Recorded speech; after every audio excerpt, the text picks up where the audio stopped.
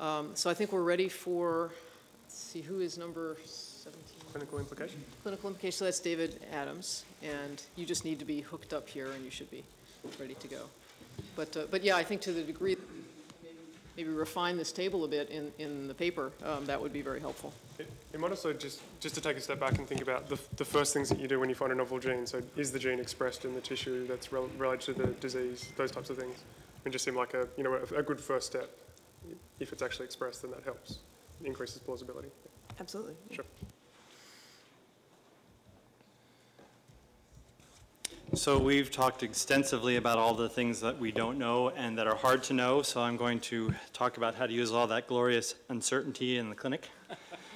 Um, This is the uh, group of people in our working group, and um, the, as with some of the previous speakers, the stuff that we wrote down in the, um, in the outline was a group effort, but this is largely mine, so I invite clarification and uh, corrections if needed. I should mention that Ewan offered to change his name to David, but uh, in retrospect, I don't think he was serious.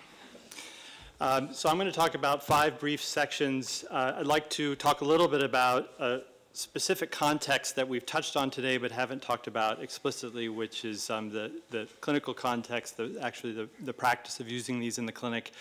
Um, I'd like to talk about communicating variant information and returning results and uh, a composite clinical example, and then um, it- talking about how a report might be, might be formatted for clinical use.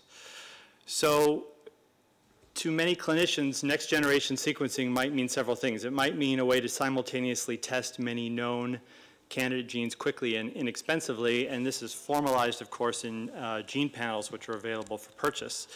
It may be considered to be something that's used by researchers to find genetic causes of disease that are rare or common, but really this devolves into Sanger sequencing eventually. So if the field decides that a variant is important, then eventually it's going to be offered as a clinical test, and it's not really going to um, come up in this sphere.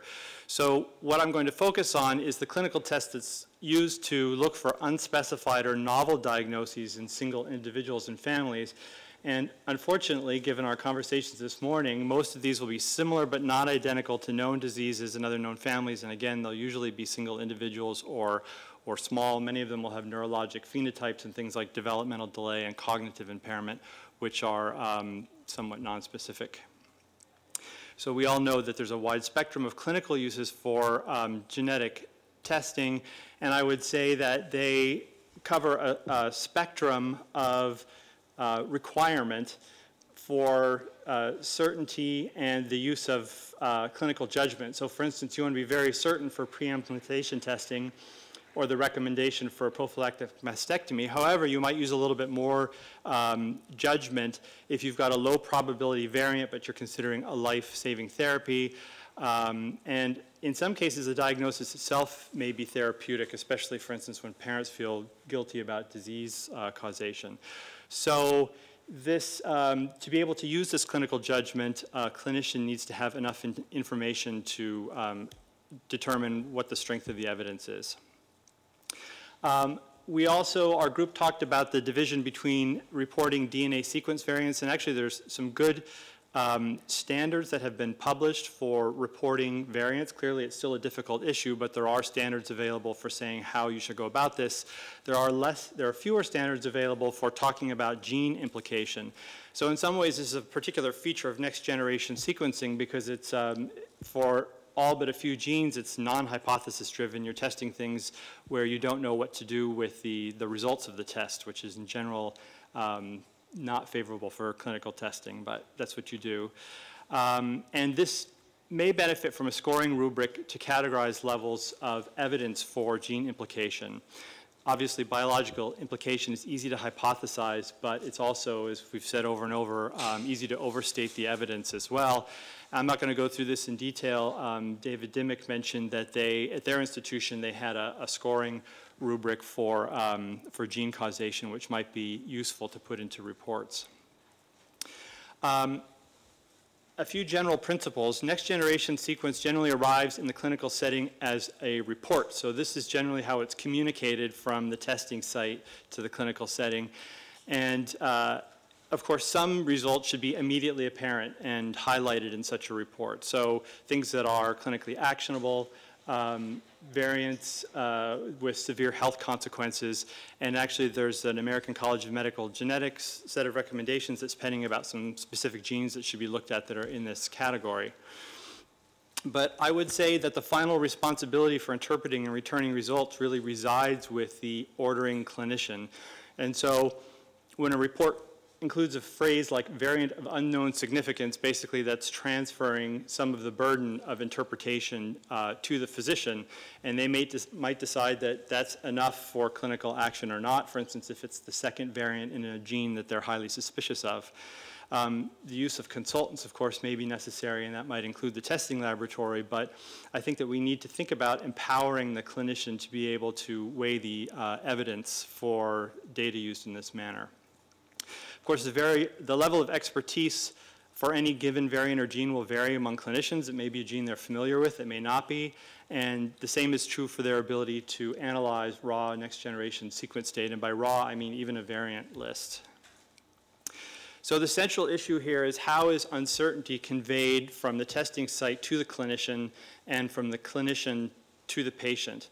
So we want to be able to provide enough information to the clinician to allow this clinical decision making, but we don't want to uh, bury important information in a massive data, and we can't assume an excessively high level of analytic expertise of the clinician. So this is an example of a uh, SNP array report and they found a 15 megabyte region of uh, contiguous homozygosity and they recommended that the pediatrician uh, type this into um, the UCSC genome browser and see if they could find something interesting. And I would recommend that this is maybe a paucity of interpretation. Um, so reports should, I feel that re, uh, reports should err on the side of providing more information rather than oversimplification. And for the purposes of this group, I think that it would be good if we could think about any opportunities to standardize the language we use to communicate um, the uncertainty and analytic techniques we're going to use. So next I'm going to give a little clinical vignette. It's a um, pastiche of a couple of different um, cases that we've had, but the reason why I bring it up is I wanted to use it to illustrate how clinical information is passing through the clinic as it's currently being used, clinical uh, exome information.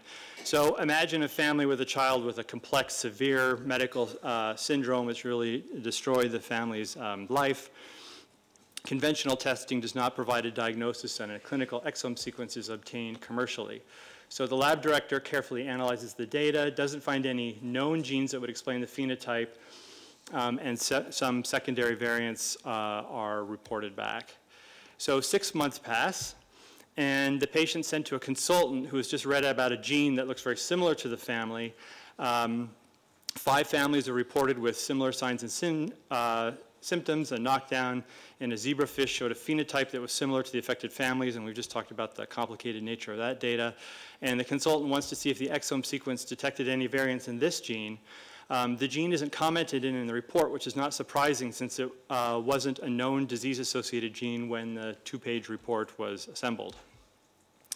Um, the testing lab is hesitant to return a full variant list because it includes variants that have not been CLIA certified and are not, um, may vary in quality, but eventually the consultant gets a copy of the um, report and she notices that there are no coding variants in the gene she was interested in. However, there's also no indication of how well the gene was covered by the exome sequencing.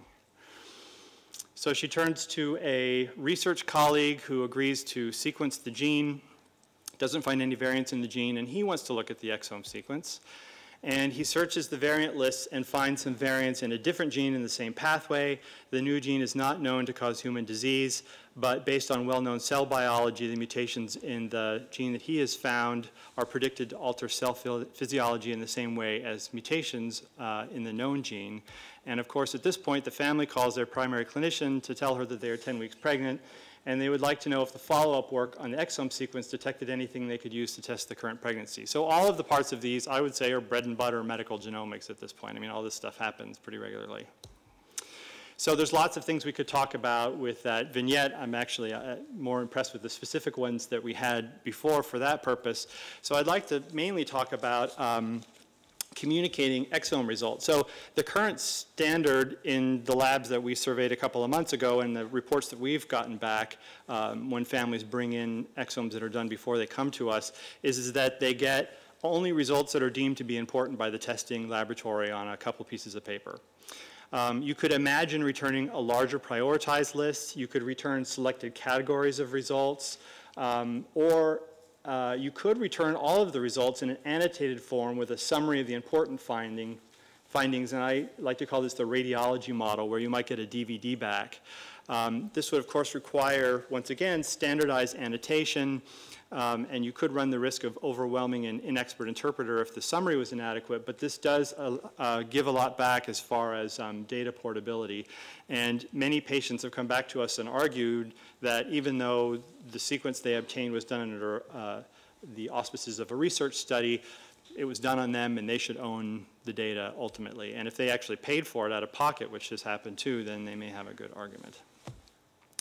Um, so what's in an optimal report for clinical use? Well, quantitative information, if possible, about pathogenicity, and we've talked about that quite a bit today, how difficult that uh, is to do, but also for disease association with a gene that you're um, presenting that's not a known gene um, information about how the analysis was done, um, analysis assumptions, information about control populations used in the analysis because if in, uh, incorrect control populations are used, of course, you could think something is rare when it's not rare, it's just not present in the control population. And then uh, limitations of the analytical methods. There are some general ones which I think are usually included, but um, what might also be useful is specific information about what was covered and not covered in that exome sequencing instance. And all of these data um, need standardization if they're going to be readily interpretable and comparable in a clinical setting. So we looked at um, six different testing sites as part of a, a, talk we were preparing at one point, and the, the issue that I just want to point out here is, is that there are um, there uh, there's a lot of discrepancy between what different sites are doing, whether they require family DNA, whether they do paternal exomes, whether they return secondary variants, whether they return variants to kids. So the field is evolving quickly, and perhaps that, that's a reason why what we're doing here um, has some good potential. Um, this is a, a, graph I prepared a while ago. Along the left-hand side is number of variants in log scale. Along the bottom are variant analysis, uh, analyses. So this is a, a, filtering pipeline. And I originally used this to show that the, the red cases and the black cases differ by the use of family data, so you get fewer variants if you use family data. But the point I want to make is, is that there are assumptions made at each one of these filtration steps, and those assumptions are generally not put into a report um, that is uh, sent to a family uh, currently in a clinical setting.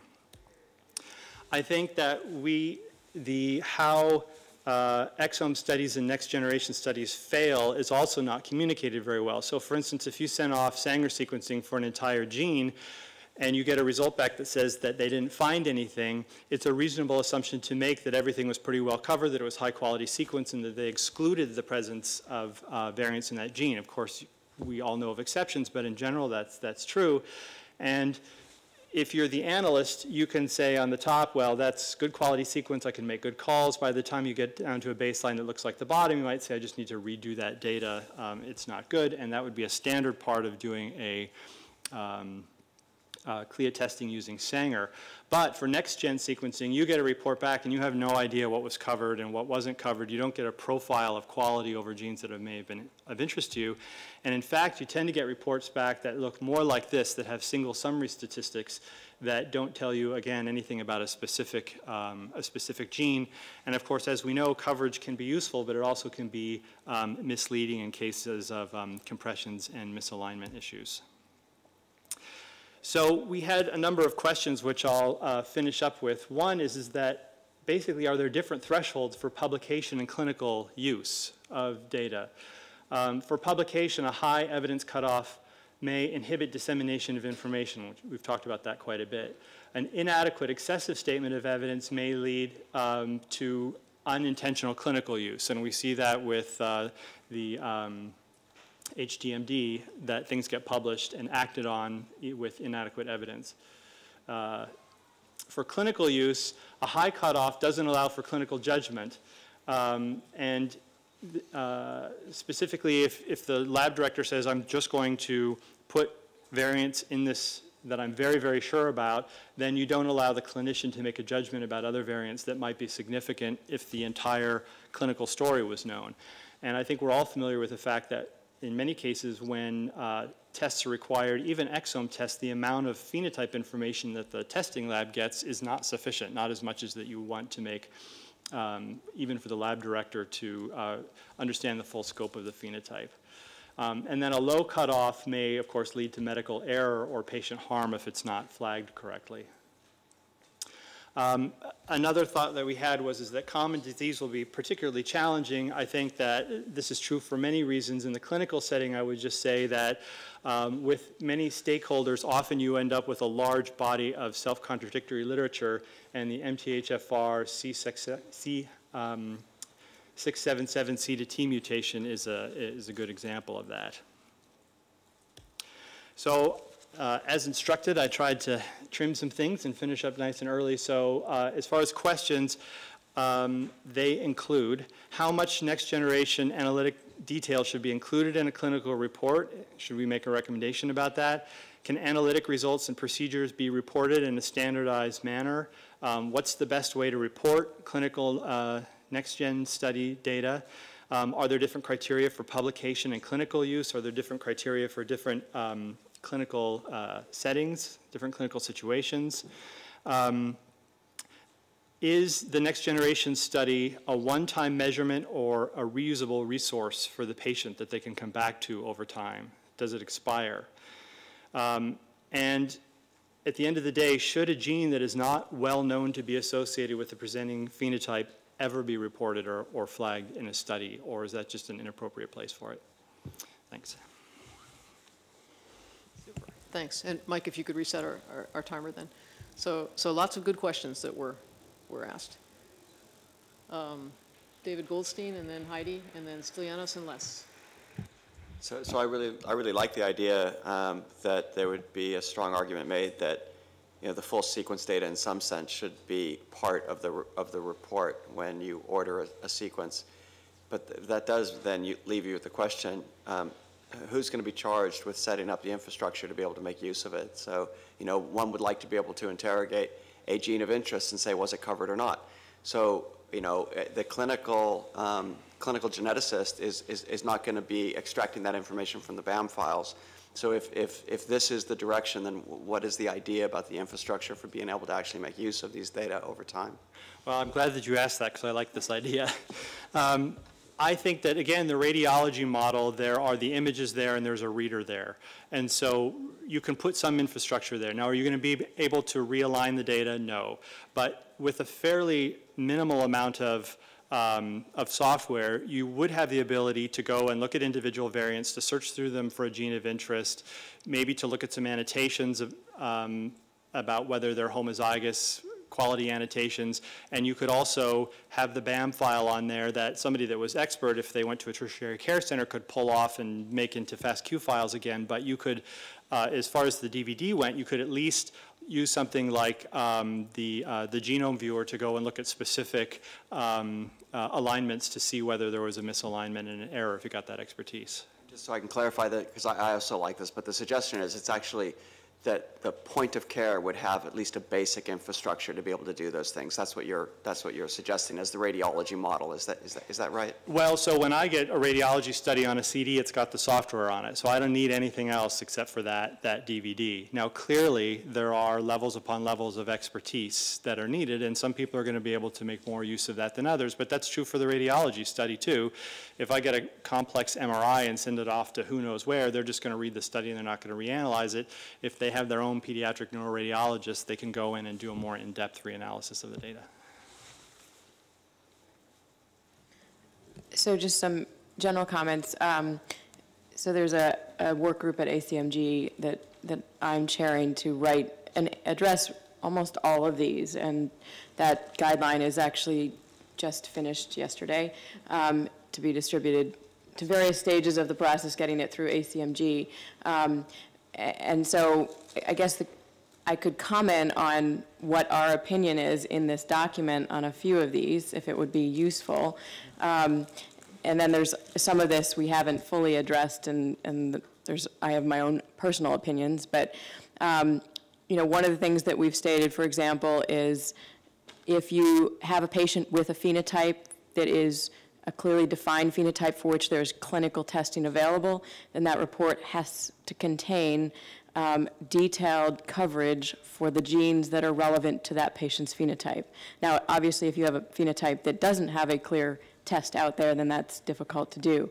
Um, So there's both the reporting of general details about how much of the genome or exome you've covered and at what depth, but then getting into those specifics when you've got a patient with Noonan syndrome and there are 10 genes known to cause Noonan syndrome, right? So could I, I can interrupt you and ask a question about that? Because let's say that you do an exome sequence and you don't get the, you don't get MECP2 at all. Are you obligated to go back and do Sanger sequencing or something else and, and figure that out through a separate technique if needed? So you are obligated to do whatever it is your test specifies.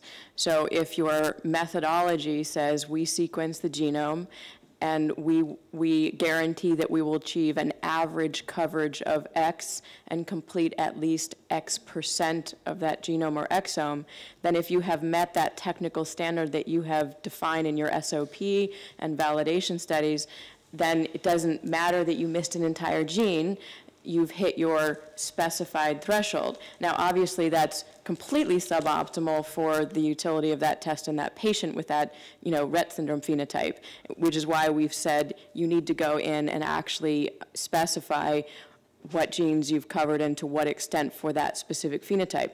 I will say there are, is at least one lab I heard of, I think it's UCLA is doing this, where they are putting on their website their average coverage on a per gene basis. So a physician could actually go in and say, well, my patient's got Rett syndrome, I could go order the, the Rett test, you know, uh, for MECP2, but but there could be something else going on. The test is only X sensitive, so maybe I'll start with an exome. But let me go check and see what the coverage is for the three genes or one gene that I know about for that phenotype, so you could at least have some inkling going into the game what you're likely to hit on that particular gene, because there is some reproducibility there with respect to each of the genes. And, and you know, at the end of the day, I, the question is, what do we recommend for labs in terms of baseline requirements versus what are the things that simply lets the lab differentiate itself from other labs. Um, and so we actually talked about that specific thing. Should we require labs to post on their websites what they cover? And we ended up deciding that wasn't a requirement, but I said that's a terrific idea. And gee, I could probably get more business if I did good things like that. You know, so some things you, you just have to leave to labs to differentiate their services, and other things you have to say this is a minimal standard. I think trying to decide between those two things is is sometimes challenging, but but things that we need to do. Um, so um, we also had an extensive conversation about whether to return um, results from unknown genes. Um, and there is a group that, uh, a clinical group that says in clinical use, this should really be the so-called clinical exome, which is all those genes for which there is an associated phenotype, and exclude the, the non-clinical exome from analysis. But if someone would like their genome that was negative sent to a research lab to pursue that question, then they can. Um, there's a, the other body of individuals who disagree with that and say, you know, we can figure some things out here. Um, we should be allowed to. Um, and what the group that won was, yes, we should allow labs to delve into this territory. It is tricky, um, and you know that's why I was asking David that question yesterday about the debating whether to return that result, which is clearly inconclusive because there wasn't enough evidence to implicate that gene in the patient's phenotype. Yet maybe there's a higher likelihood that result will be pursued in subsequent assessments if you know it was in fact returned albeit with the uncertainty conveyed. So, so right now, the, the guidelines are stating that, that that is okay in a clinical report to return, but you have to make some plausible arguments for why that, you know, is a potential cause. Now, we, that gets back to the whole point of all of us gathering here is what makes a plausible argument. Um, and we were not able to even get into specifying that, the answer to that. Um, so that's just a few comments. I can, you know, comment on other things if people were interested. We had we had Stylianos next, but did anyone want to follow up specifically on Heidi's comments? So, so Gonzalo and, and Ben, and then we'll go back to uh, Stylianos. So, so on the last of uh, your comments, Heidi, I think that actually the last one is actually probably a good topic for a research study, you know? So I think it's not so clear what, I mean, it seems to me that you, you can't not, not return it ever. You know, if people request, then it's, it's a test that you did on them, and I think people have a right to know. And, and probably in medicine, people return all sorts of results that ha- are ambiguous and cause mm-hmm. worry, and no one is really sure what they mean all the time. But in general, is it a good thing to do? You know, will it sometimes help diagnose things, or will it mm-hmm. just cause anxiety? That's probably a testable thing. You could say, if we use some standard to return those, how often would it lead to a new cause, and how often would it not, right? So, and I think there's probably not the literature out there to tell.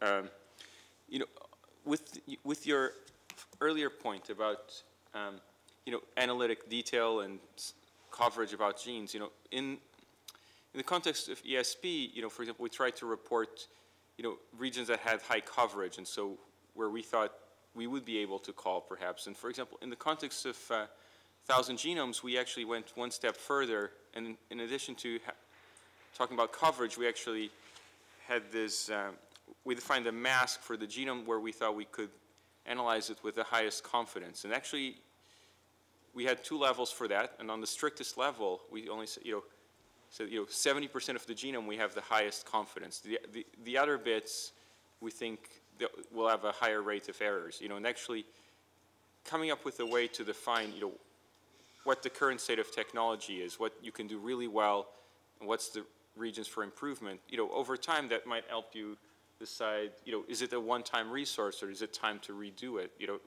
you could say, you know, for this patient, I'm interested in these genes, and actually, I think the analysis of these genes now is much better, because now that I have longer reads or better quality mapping or something, the, the data there is, is clearly more definite or something.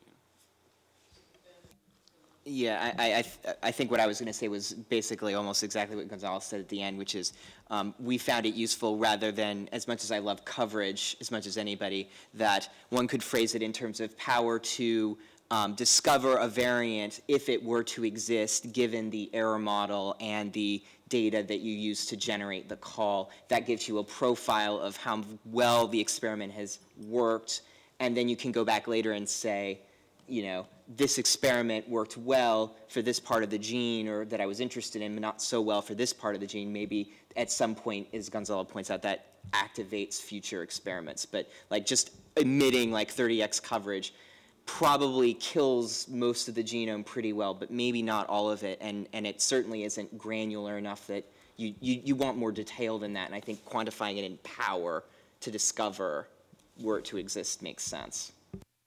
Okay, Stylianos, thanks for being so patient. So. Uh, I'm wondering how important is the informed consent in the, all this flow of information and the disclosure of incidental findings or findings or findings on actionable variants. I- Actually, is, is there a, a list of actionable variants? Isn't that what we're trying to generate? So, so in, in, in, in other words, um, are are there studies of um, um, how, how the consumer uh, uh, reacts to um, the different options of an informed consent? Um, informed consent very uh, uh, open and liberal, and an informed consent that's very restrictive to um, a few genes, and, and, and, and how the consumer could change his mind if, um, if there's a, an in-depth explanation to.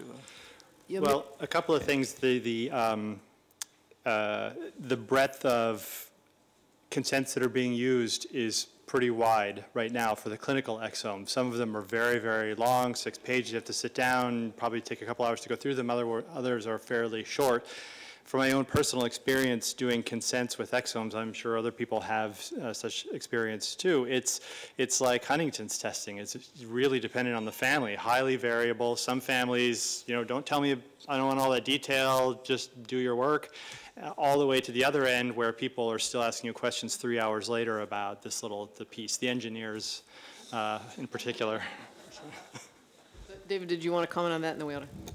Yeah, I did. Um, so, I mean, I think there are two things I want to answer Ben's statement. For our clinical lab, we report back what areas of coding regions of genes we, so we do whole genome, but we report back in our report. So we require the physicians to provide a list of genes that they think are relevant to the phenotype. So we don't think that should be a lab responsibility. We think that should be a clinician responsibility. We actually return back what exons of those genes were not covered to a point at which we think we could reliably detect a heterozygote. So that's the way we, we define it.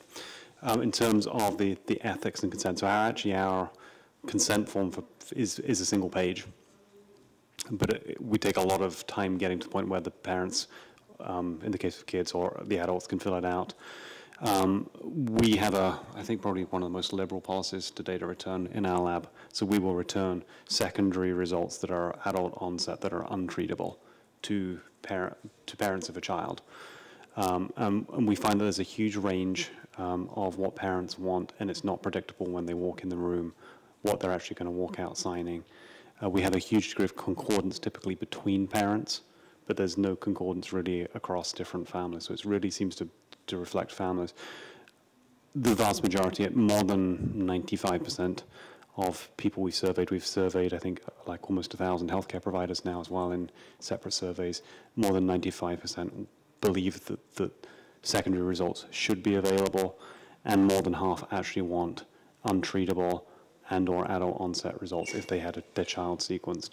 And we see a very similar thing with parents that more than half elect to have adult onset results returned. Les, you had a comment? Yeah. Um, so the what I originally pushed the button for uh, was the uh, you mentioned the um, 2007 ACMG mutation categories. Uh, just an FYI is that those are, of course, those were of course drafted probably between 2005 and 2006 when we all should have been aware of this, but apparently weren't. That the presumption of known pathogenic variants had a lot to do with reality. And now we know that that's not true, and those definitions accept that presumption. And I think uh, it's now well appreciated that that's not a really great presumption.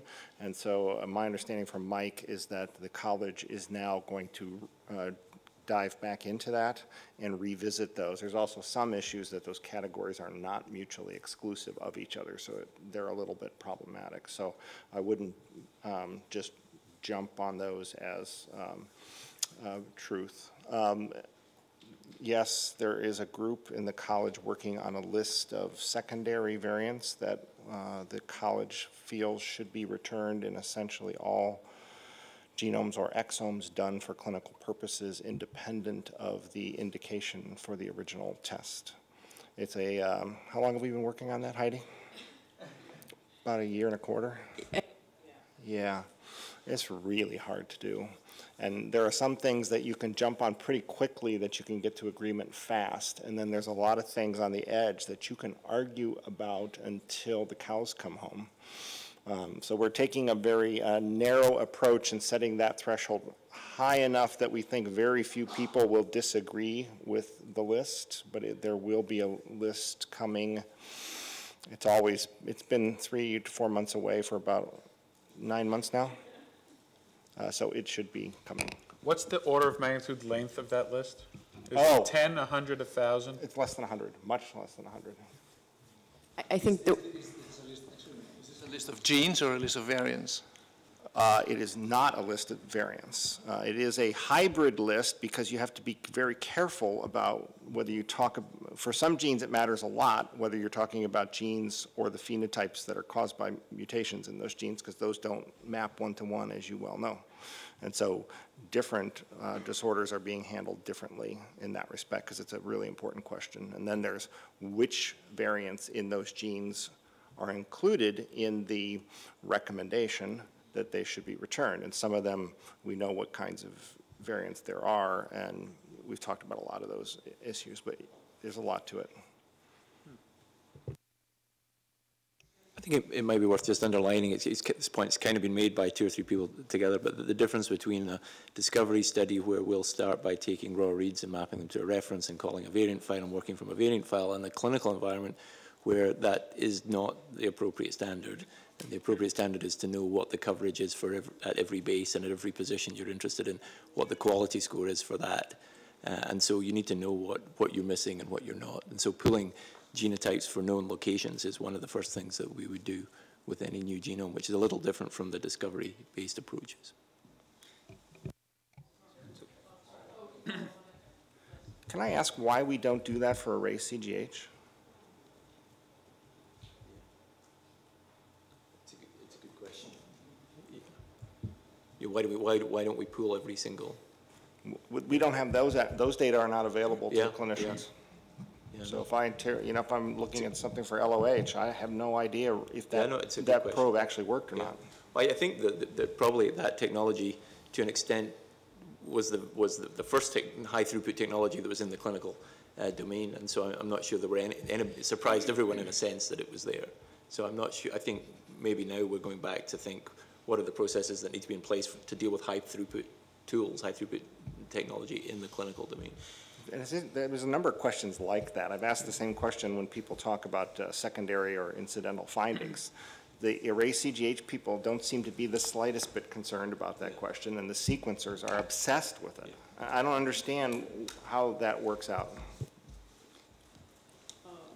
David, did you want to comment directly to that? I was just going to say that for an oligo array, at least you're doing multiple tests in the same area. You can look at fluorescent intensities, maybe 100 or 1,000 or across the area you're looking at. And in the, um, there's a smaller amount of information per base potentially, I guess, for, for this. So maybe that's reassuring, but I don't know. Yeah, just to address that, my feeling is it's, it's a simpler environment because the thresholds are set by size primarily and not necessarily disease. And so it's easier to come to a standard sort of feeling about, okay, we'll return anything that is larger than X or has a certain number of probes contributing to the, to the, um, to the result. Um, and it's a much simpler thing than four million variants being called in a genome, and how do we figure out which ones to convey back? And so I, I think it's just a, it's a different question that's been addressed. But, but the other thing, in, in talking with, you know, this issue of distributing the, the raw data um, from a clinical test for additional analysis, when, you know, we brought that up as the sequencing group, the, the cytogenetics group was very much against the distribution of the raw data set um, and, and their arguments were, you know, we each use different thresholds and different QC and different this, and if somebody took our data set and put it into their algorithm, they get something different, and then there'd be the liability of, did you not call this, and there's all, you know, and, and then, of course, those things are true also in the molecular sense, that we use different aligners and different variant callers and different thresholds, and some might be a lower, but Sanger confirm everything, some are higher and they don't Sanger confirm, and so it is tricky to, to sort of say what's appropriate in terms of just saying, yeah, you can have your data, and is it annotated data? Is it reads? Is it, you know, what is it you're giving out? And, you know, when we look at a genome with variant calls, there's lots of loss of function variants being called that are you know, pseudogene misalignment, there, you know, two bases got called as independent variants when in fact it's a two-base substitution done, it's a silent variant, and, and, you know, this could be throw people off if they see all these, you know, that a quick scan of whatever database says that that's disease causing. So it's, you know, I would, I'm fine giving really, really raw data out, feeling that the only people that can make heads or tails of that are people who understand the limitations of the data. But, you know, giving out annotated variant data sets that we have not looked at that from a quality perspective out to other people, that scares me, and that's where I would, I would rather give the very rawest data out than give this sort of intermediate level that doesn't meet the quality threshold. Um, So I guess I was responding to Ewan's point, but not quite, not quite remembered exactly what I was going to say. But um, I think uh, basically the long and the short of it was, well, the goals of, you know, the research and clinical enterprise may need different outputs at different times.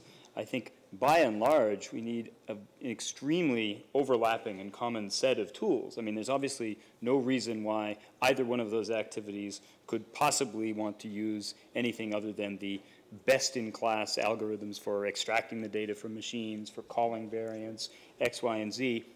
In many of our research studies, we find ourselves, you know, wrestling with you know, conditions, either individual cases or groups of, of patients that um, have similarity to existing conditions. And, the, and absolutely the first thing you would want to do is have a clear assessment of the coverage of not only every exon of genes known to be related to that field, but every known mutation um, in, in those areas. And I don't think these are tools which are only suitable to one or the other of these activities. And the more that we can, you know, uh, build common strategies to tackling some of these problems, the better position we're in to sort of enter this reality where clinicians are constantly bringing all of us cases that we can't immediately say whether this is a diagnostic test we're running or the expectation is this is probably going to end up in research and we'll need to match up with lots of other people working with similar cases. I might note that we, we haven't really talked much about quality control here or quality standards, other than to say there should be some and we should all adhere to the highest ones. Um, and I have, have the impression that there, there are, well, um, that there are, other groups that are discussing and, and publishing on those. So, so just to be sure that we're not missing anything, do, do we all feel that that's being adequately covered elsewhere and simply saying we should adhere to some or somebody should adhere to some and they should be the highest um, is enough? Or do we need to discuss that here? I'd be interested in your opinion about this, but I, I don't feel like that there are, that there's a uniform enough standard for, for quality that, that can move between centers. Yeah, we came to the same, con- oh, sorry. We came to the same conclusion, we were writing the guidelines, you know, there's this question of, should we recommend a minimum coverage and a minimum this and a minimum that? And that the challenge is, e- each of the technologies are different and what you call as the minimum varies across platforms and, and approaches and they're likely to change rapidly. So we made the decision that the lab had to clearly validate and you know, argue for what their technology was capable of doing.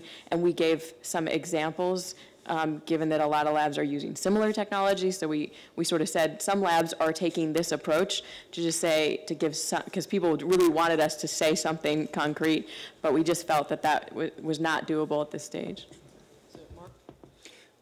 So I just want to say in relation to quality, I just want to re remind you of the very good point that Daniel made earlier that in a lot of these really uh, functionally interesting and important regions, the error rate is going to be much higher. And, you know, I think that's an important message from this group that, you know, you can get overall a very high quality data set, but of course, on the regions that are most functionally important and whatnot, the error rate's going to be a lot, potentially a lot higher, and somehow that has to get factored in. It, really not the error rate, but the proportion of findings yeah, yeah. that are errors, yes, which is yes, yeah, a little a little different. Yeah. So I, I think the the error rate as well. My understanding is that because of things like CG content and stuff, I, close homologs. Yeah, yeah, all kinds of stuff. So it's not just it's not just the uh, the prior probabilities, but also the raw error rates. I think are tougher in genes and things and control regions. It's very ironic and sad. so I, they're less repetitive though, so they get you get a big win. I mean, our major failure right now is in mismapping of reads rather than making sporadic base call errors. So so, so, I think from a from a clinical lab versus a research lab, there there are two very different ways of looking at it. In, in a in a research setting, we're obsessed with false discovery rates and not trying to find something that isn't real. In a clinical lab, you're very concerned about missing something that is real. And so the way you tune your software for variant calling is going to be very different when you're trying to minimize your false discovery rate versus trying to minimize your false negative rate you know, most clinical lab directors will have the opinion of, well, if we just do an extra few Sanger reactions, well, it's a bit of money, but okay, I can live with that. Um, so, so I, I, think there, there is actually a difference in the, the worldview. Also, clinical labs are bound by a bunch of rules that require obsessive documentation that doesn't necessarily improve quality, but is required. I think one of the things that we found when we moved into this world is also the, the shall we say, the versioning um, is less than optimal within the research sphere in terms of actually working out exactly what database was used underlying what and being able to go back three months or six months and say, we can do the exact same analysis again because we have the, the tools, um, such that we actually brought copies of all of the, the databases in-house so that we could version them. And so I think that's not quality in the sense that if you don't have version control, you're doing bad science, but it's a problem from a regulatory point of view if you've got to prove. So I think there is some differences in, in clinical versus research that that are not necessarily obvious and don't necessarily affect the quality of the result, but do affect the rules that you, you operate under. I think what I was going to say is redundant to what, what's been said, but, you know, the, the measures of quality for this data are, you know, what's a, an achievable standard is changing very quickly. You know, when, when Daniel wrote his paper on the thousand genomes data, you know, he said that actually half the uh, stop variants and so on that we'd originally reported were, you know, were errors.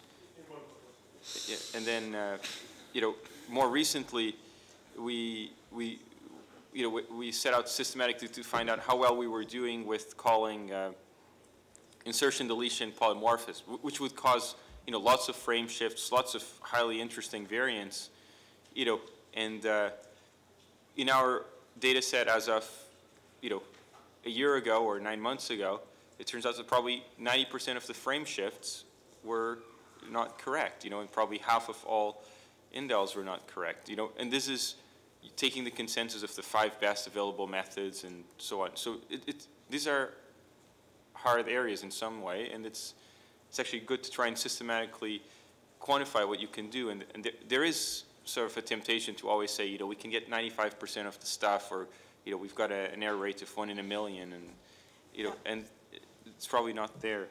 Um,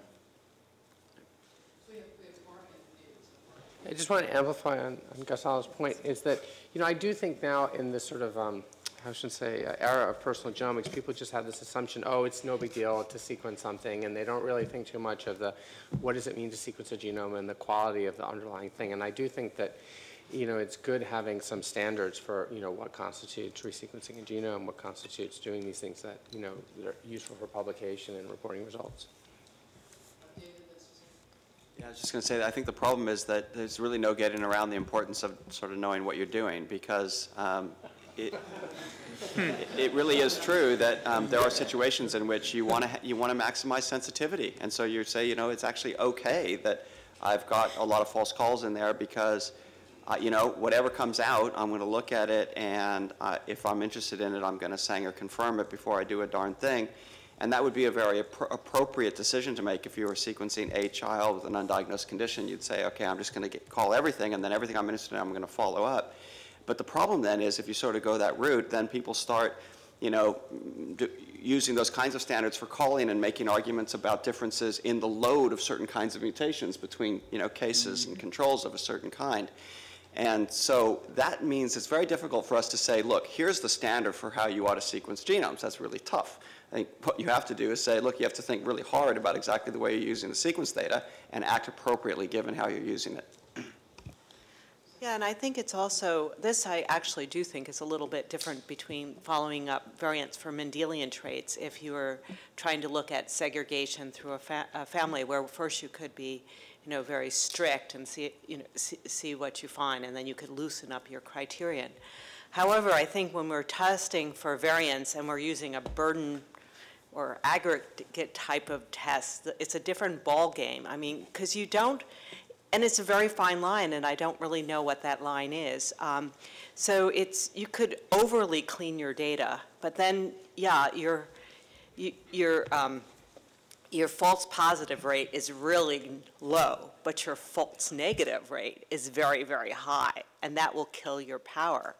And I think you know you, we're going to be a little bit robust to you know a certain percent of uh, false positives there but you know we can't have our test overwhelmed by false positives. So it's it's very hard to say how you would properly QC QC the data and have have that balance.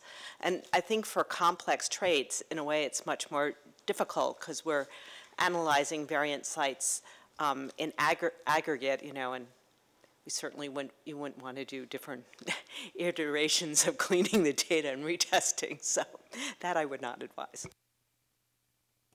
I mean, I guess in the clinical setting, you do have the safety net of, of having independent validation of, of those variants, which you won't have in a load-based Yeah, association test. You might have a, like a, an overall sense of your false positive rate, but not every single variant. Right, right, yeah, because you, with a Mendelian trait, you, you could follow it up. It's Mhm. more work, but it's definitely very doable. And especially if you're working within a, a small linkage, re- a, a smallish linkage region, it wouldn't be that many variants to follow up. I think just to, to, answer your question directly, it's clear from the discussion that probably uh, including um, some of this information and some of this discussion on quality would be a useful thing, I think, for this document.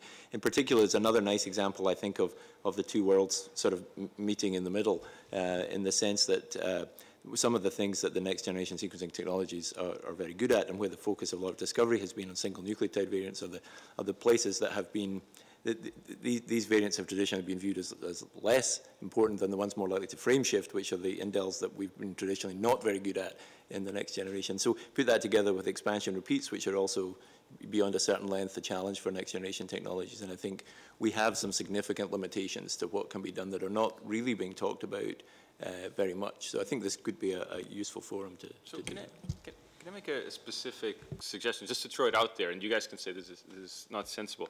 But you know, in, in many areas of medicine, it's it's common to think about getting a second diagnosis, right? You know, there's no reason why we couldn't say, you know, e even for something like the genome, you know, if you're getting a diagnosis, you could consider getting a second one. You know, there's no reason why you can guarantee that the first one is the definitive be all and all because of all these things. There's errors and technologies change and so on, you know? Well, Well, but David, I mean, I mean, think about how you work. You work clinically. You, you get a, you know, you get a weird clinical test. The first thing you do is you repeat it. No, no. I mean, but you know, when you look at, um, you know, if you, if, you know, uh, David Goldstein put an example of a particular family that had a child with a condition that was hard to diagnose, right? They went through, you know, many, many different genetic tests, actually, not just two, maybe like five or six or something. I, I just browsed the blog before they got to the right one, you know? And so, I don't know, I mean, I, I, I think it, in, in medicine, and probably in many areas of life, you know, things are not as definitive as we'd like them to be. You know, if we had a perfect genome and we knew how to interpret everything, great, but, you know, but it's not there, and, and probably you, get, you have to get the two clinicians to talk to each other and figure out the difference. It doesn't seem such a, an impossible, unreasonable thing to, to figure out. The, the limitations or even systematic errors might be pretty correlated across the different, um, you know, exome-based attempts at a diagnosis anyway, in which, in, in, which case there may be less, less benefit there if, if that's the case. So I, I was about to jump in and, and, tell Gonçalo is a really bad idea, and then I kind of thought about it for another second. So, I mean, the, the, so there's a false negative issue and a false positive issue in, in thinking about a second opinion, right? So for a, for a false positive issue, it seems like a Sanger confirmation would be a much simpler route to, to getting to a answer, right? And then, but for a false negative issue, that's where a different, and then I guess you could also break it, you know, what does it mean to get a second opinion? It's the act of sequencing in a different place with different tools and all that, but then there's also the analysis, right? So you can imagine someone would just have a different interpretation of the same data. So you wouldn't necessarily have to even generate the data again, you just take your data somewhere else and get it reanalyzed, right? So we had, we had Les and then Joel, I think. Or, I was going to change topic. Is there, Joel, did you want to speak to, to this? Yeah, I guess just more on sort of second opinions. I think it also speaks to the idea that the patient should be able to have access to the full set of data that would be would allow them to go to you know just the same way you know you could have your CAT scan and it's read by a radiologist in one hospital and then you know you take it to a radiologist in another hospital and they you know they'll look at it again um, and you know I guess even repeating tests sometimes we do, you know, if there's a biopsy that's indeterminate or something like that, then sometimes people need to go back for that, even though you prefer not to. Um, but I think in terms, I think it does speak very strongly to the idea that regardless of what's reported back, patients should have the option of getting all of that information at whatever level they want it.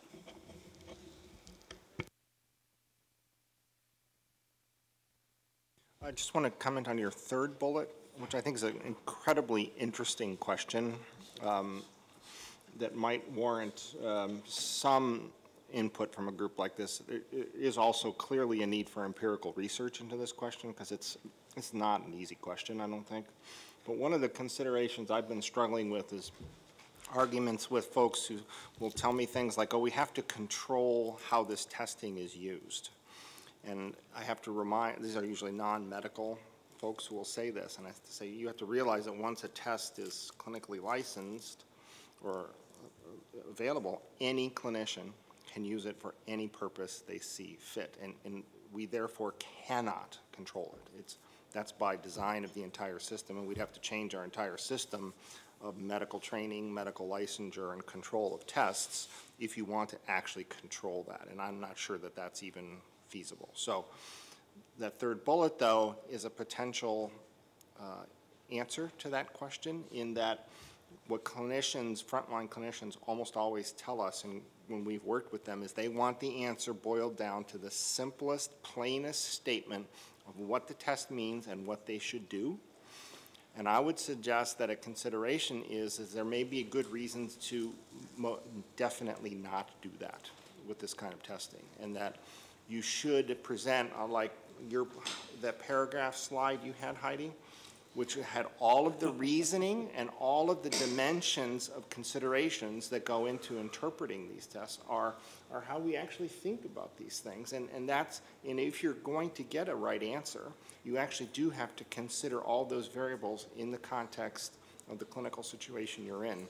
And so sort of forcing the issue of making it clear to people in how you present the result, that you actually have to understand and be able to think about all these things to use these data. There's merit in that, and we shouldn't oversimplify that and just give it in too simple of a fashion. We- We do need to move on, but, but we had Russ and Heidi, so, and David, um, Sure, who were I'd, I'd three love to hear clinicians. clarification Yeah, on that point. okay. yeah. Just to very quickly agree with that, uh, I'm aware of a, f- of a pharmacogenomics study where there was supposed to be a very limited intervention in a, in a single clinic. They announced it at a staff meeting, the availability of this pharmacogenomic test, and they closed down the entire operation in two days because every physician who had any patient that they were even considering using this drug on had ordered the test and they had brought the lab to its knees. So that tells us a few things, that physicians are very eager to use genomics if you offer it to them, but be careful what you offer because they will order stuff, and then we're really going to be left with, with this problem. Just to comment on Les's um, thought about, you know, these not simplifying the reports too much.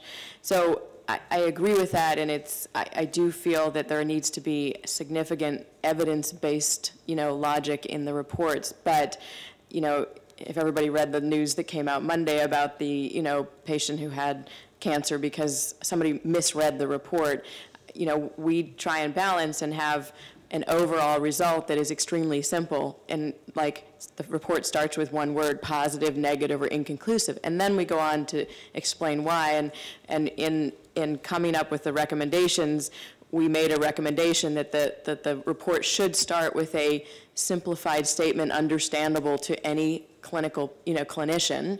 And we gave examples of that, like here, you know, for an exome sequencing test where you didn't find an answer, negative and an established or plausible cause of the reported phenotype was not identified, highlighted in big bold box, and then you go on to say, these are the genes we looked at, and this is how our algorithm worked, and da-da-da-da-da. And then the same thing on, you know, a positive, the example we put in was, and this was a case where we, there was genes identified related to the phenotype, but the variants in those genes were unknown significance. So how do you give an overall result like that? And so we wrote, variants in genes with an established role in the reported phenotype were identified.